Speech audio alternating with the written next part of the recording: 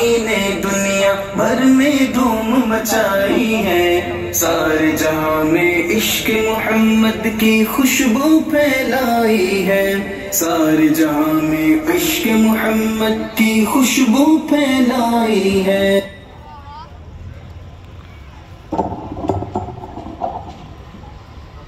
जैसा कि आपने पहले देखा कि बच्चों के दरमियान जो मुकाबला माशाल्लाह हो रहा था, किस तरह बच्चे